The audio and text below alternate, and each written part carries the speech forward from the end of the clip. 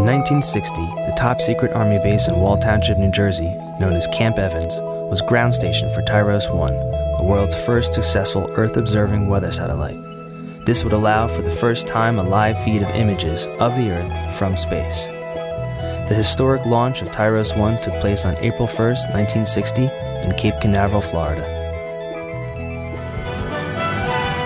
In its gantry at Cape Canaveral, Florida, a Thor Able rocket is ready to carry this weather observation satellite on a new space adventure. Called TIROS 1 for television and infrared observation satellite, it contains the most complete collection of instruments ever assembled to study the use of space vehicles for comprehensive weather observation. The most important of these being two Vidicon cameras, one armed with a wide-angle lens of vast scope, the other with a standard narrow-range lens. Both record on this magnetic tape machine and on command send their scannings back to Earth. The historic launching of the Thor Able carrying the TIROS 1 in its bulbous nose takes place at 6.40 a.m. A peacetime use of a deadly war missile that promises humanity a new era in meteorology.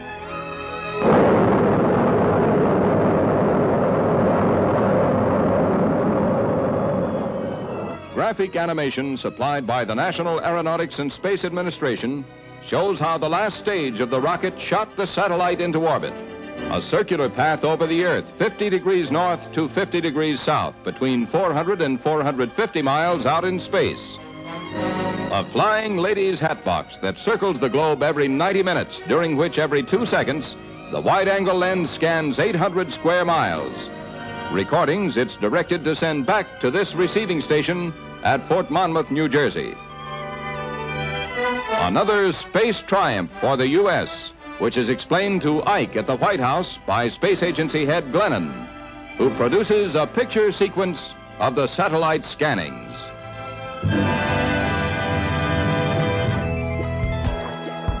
Today, more than 50 years later, we have come to realize the significance and impact of this grand achievement in science, engineering, and communication. Weather prediction gives advanced warning to prepare from devastating storms, tornadoes, hurricanes, and typhoons, saving millions of lives. The TIROS program was a major success for NASA only two years after the agency formed, so successful that it eventually expanded to create the vital Earth observing work of the National Oceanic and Atmospheric Administration, NOAA.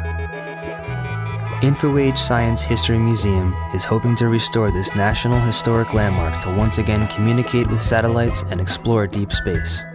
Our mission? To preserve, educate, and honor scientific innovation and inspire new generations of thinkers, dreamers, and visionaries. InfoAge and its partners are currently raising funds to restore the original TIROS satellite dish to operational status and eventually create a NASA style control room and exhibit to serve the community as a learning resource and honor the incredible history that took place here. InfoAge relies on the support from the community to continue its mission. Please help support the museum by going to infoage.com backslash donate.